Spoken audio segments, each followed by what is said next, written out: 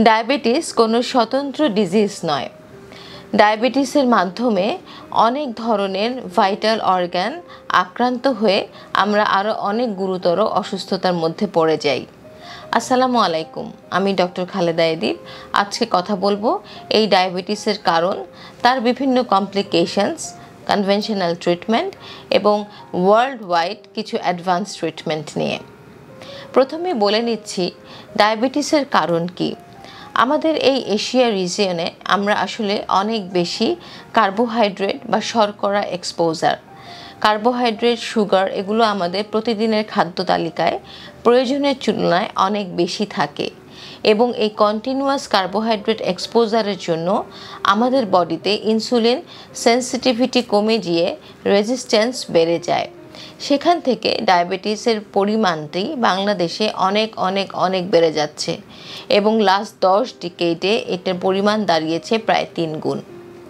এরপরে যে সেকেন্ড রিজনটা আমি বলব, ডায়াবেটিসের, অনেকেই মনে করেন যে এটি জেনেটিক ইস্যুস ফ্যামিলিতে বাবা মা বা ফ্যামিলির ক্লোজ কারও ডায়াবেটিস থাকলে তার পরবর্তী জেনারেশনের ডায়াবেটিস হবে। এই ধারণাটি আসলে এখন চেঞ্জ হয়ে গিয়েছে। শুধুমাত্র লাইফস্টাইল মডিফিকেশনের মাধ্যমে আমাদের পক্ষে সম্ভব এই জেনেটিক যে মিউটেশন, সেই এক্সপোজারটাকে চেঞ্জ করা অথবা কন্ট্রোল করা।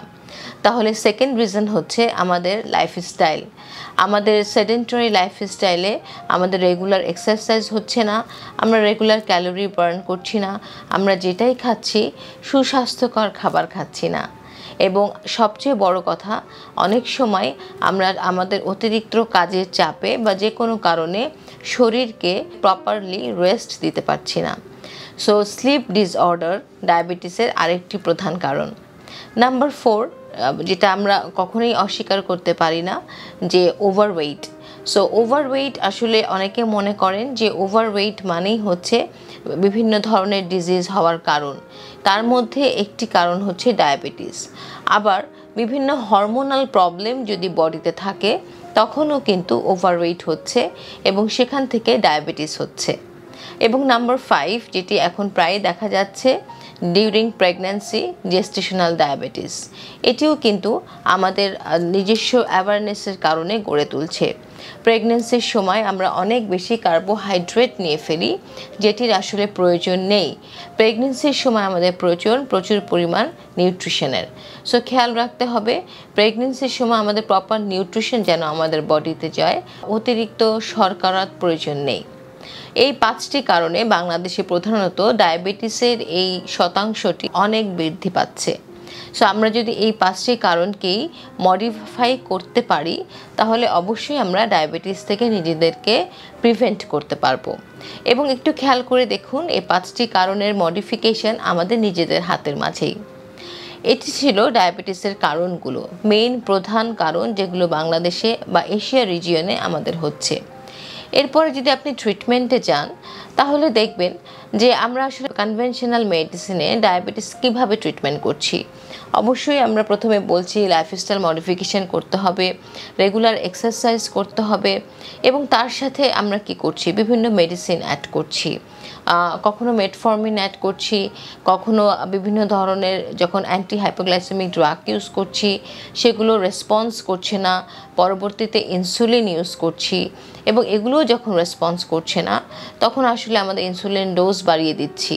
এবং তারপরও যখন রেসপন্স করছে না, তখন দেখা যাচ্ছে আমাদের বডির বিভিন্ন ভাইটাল অর্গান আক্রান্ত হচ্ছে। সো এগুলো হচ্ছে কমপ্লিকেশনস কমপ্লিকেশনস আমি একটু পরে আসি। আগে বলি যে কনভেনশনাল মেডিসিনের সাথে সাথে আমাদের অ্যাডভান্স ট্রিটমেন্ট ওয়ার্ল্ড ওয়াইড ডায়াবেটিসের কী এসেছে? কনভেনশনাল মেডিসিনের পাশাপাশি আমাদের মনে রাখতে হবে যে ডায়াবেটিস একটি মেটাবলিক সিন্ড্রোম যে কোনো কারণে আমাদের বডিতে সুগার মেটাবলিজম হ্যাম্পার হচ্ছে এবং সেখান থেকেই আমাদের ব্লাড সুগার ইনক্রিজ করছে। এই ব্লাড সুগার কন্ট্রোল রাখা এবং তার সাথে সাথে আমাদের বডির যে ভাইটাল অর্গান আছে, একটা, এক নম্বরেই প্রথমেই যেটা আসে সেটা হচ্ছে কিডনি, তারপরে eye, liver, heart, brain, intestine. এই অর্গানগুলোকেও কিন্তু আমাদেরকে প্রিভেন্ট করতে হবে। সো ডায়াবেটিস যদি ব্লাড সুগার কন্ট্রোলে থাকে, তার মানে এটি নয় যে আমার ডায়াবেটিস কন্ট্রোলে আছে। ডায়াবেটিস তখনই কন্ট্রোলে থাকবে যখন আপনার ভাইটাল অর্গানগুলো প্রপারলি ফাংশন করবে। সো মেটাবলিজমের জন্য আমাদের এই প্রত্যেকটি অর্গ্যানের প্রয়োজন আছে। এবং প্রপারলি যদি মেটাবলিজম না হয়, তখন কিন্তু কখনোই কোনো কনভেনশনাল মেডিসিনের মাধ্যমেও আমরা ডায়াবেটিস কন্ট্রোল করতে পারি না। এবং তখনই বিভিন্ন কমপ্লিকেশনের দিকে পেশেন্ট এগিয়ে যায়। এসব দিক বিবেচনা করেই ইউরোপ বা ইউএসএ অথবা ওয়ার্ল্ড ওয়াইড যে অ্যাডভান্স ট্রিটমেন্টগুলো ডায়াবেটিসের এখন এসেছে, তার এক নাম্বার এক নাম্বার এবং এক নাম্বার ট্রিটমেন্ট হচ্ছে ডায়েটারি মডিফিকেশন ডায়াবেটিস হলে অবশ্যই আমরা সবাই কনভেনশনাল মেডিসিনেও বলি একটা রেগুলার ডায়েটারি চার্ট দিয়ে যেটা মেনটেন করবেন। কিন্তু আমরা ফলো আপ করি না পেশেন্ট আসলে এটি মেনটেন করছেন কি না সো প্রপার কাউন্সিলিং এবং ডায়েটারি মডিফিকেশন এই দুটো জিনিস দিয়ে অ্যাপ্রোচ দিয়ে আপনি ডায়াবেটিসের fifty to sixty percent recover করতে পারবেন। এরপরে আপনার সাথে আছে অবশ্যই ডেইলি এক্সারসাইজ এবং অবশ্যই অ্যাংজাইটি রিলিফ সো এই অ্যাংজাইটি রিলিফ বা স্ট্রেস রিলিফ যদি আমাদের কাজ রিলেটেড হয়, সেক্ষেত্রে আমরা কাজগুলো অ্যাভয়েড করতে পারি না, কিন্তু স্ট্রেসকে অ্যাভয়েড করতে পারি।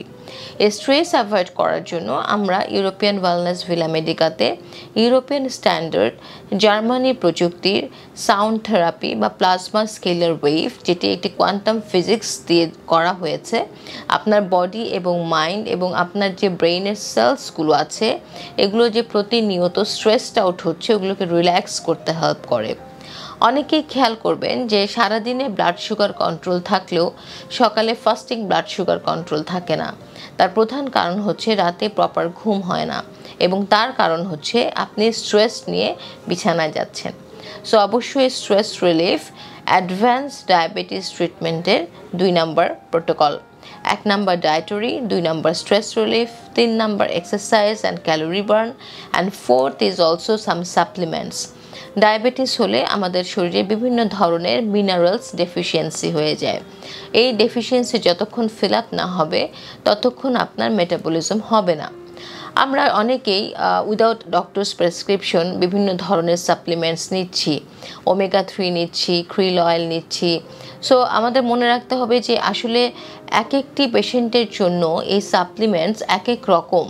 ইটস নট জেনারেলাইজড সো অবশ্যই এ ধরনের সাপ্লিমেন্ট ইউজ করার আগে আপনার নিজস্ব যে নিকটস্থ ডক্টর আছেন, তাদের সাথে পরামর্শ করে নেবেন।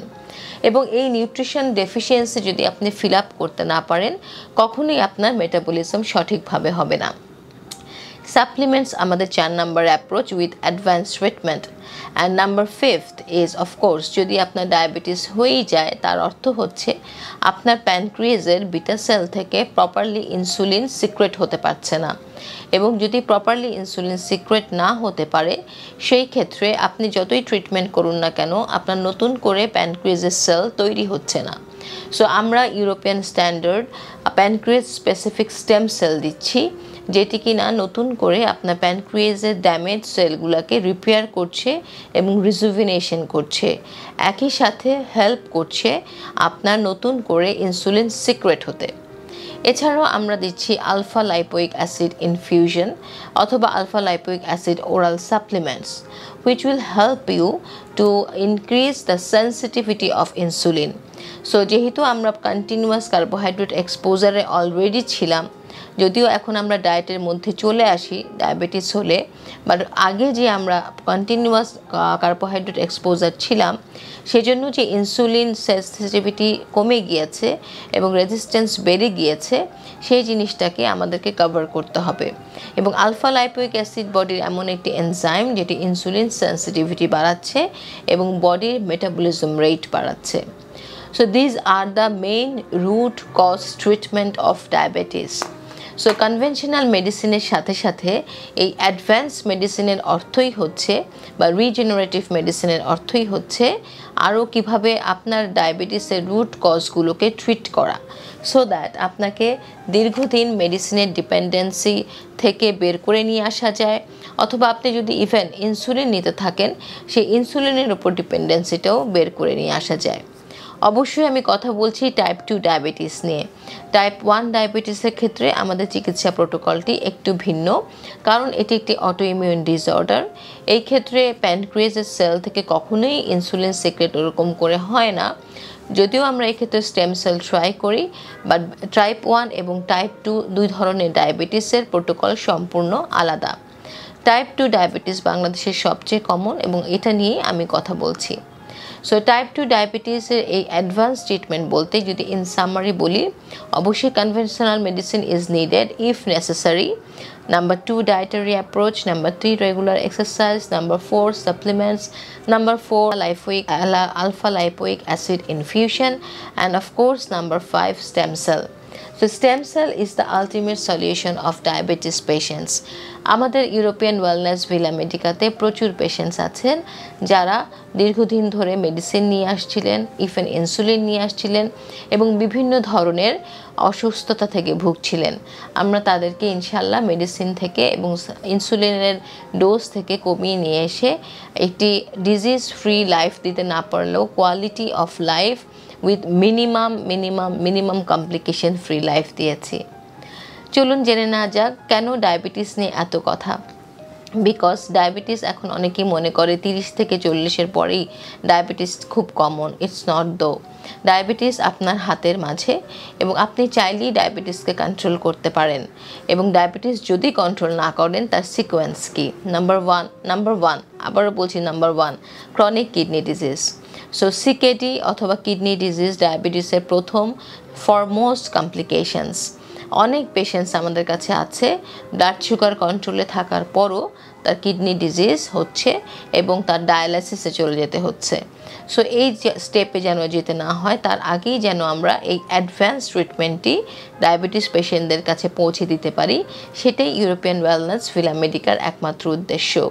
নাম্বার টু অবশ্যই fatty liver liver problem liver disease এগুলো ডায়াবেটিসের কমপ্লিকেশনস নাম্বার থ্রি আলজামায়ার্স আর memory loss number four indigestion digestional issues gastritis number five এবং সবচেয়ে বড় ইম্পর্টেন্ট সেটা হচ্ছে যে ডায়াবেটিস পেশেন্টসদের ব্লাড ফ্লো কমে যায় মেটাবলিজম রেট কমে যায় এবং তাদের সবচেয়ে ইস্কেমিক হার্ট ডিজিজ অথবা হার্ট অ্যাটাক অথবা হার্ট ব্লক হওয়ার পসিবিলিটিস বেশি এবং অফকোর্স যারা মেল পেশেন্টস আছেন, তারা maximum ninety five percent diabetes patient are suffering from sexual dysfunction R erectile dysfunction which is also very common and very alarming for our male patients. So এই complications diabetes আমরা মনে করি শুধু blood sugar বেড়ে যাচ্ছে that's all it's not the end ডায়াবেটিসের end কমপ্লিকেশনসগুলো আসলেই লাইফ থ্রেটেনিং এবং এগুলোকে যদি প্রথম থেকেই এখন নতুন অ্যাডভান্স অ্যাপ্রোচে ট্রিটমেন্ট করা না হয় পেশেন্টসের সাফারিং অনেক অনেক বেশি। সো আজকে আমি আমার এই ভিডিওতে আপনাদেরকে কেন ডায়াবেটিস হচ্ছে ডায়াবেটিসের অ্যাডভান্স ট্রিটমেন্ট কি, এবং কোথায় পাচ্ছেন, সেটি হচ্ছে European wellness Villa Medica Bangladesh premier সেন্টারে এছাড়াও আমাদের বিশ্বে প্রায় ত্রিশটি ব্রাঞ্চ আছে, সব জায়গায় সেম স্ট্যান্ডার্ড ট্রিটমেন্ট পাচ্ছেন, এবং সেই সাথে ডায়াবেটিস কেন কন্ট্রোল করা উচিত, এবং ব্লাড সুগারই ডায়াবেটিস কন্ট্রোল করার একমাত্র প্যারামিটার নয়। এই জিনিসগুলো আপনাদের সামনে তুলে ধরার চেষ্টা করলাম। আশা করি সবাই উপকৃত হবেন। ধন্যবাদ সবাইকে।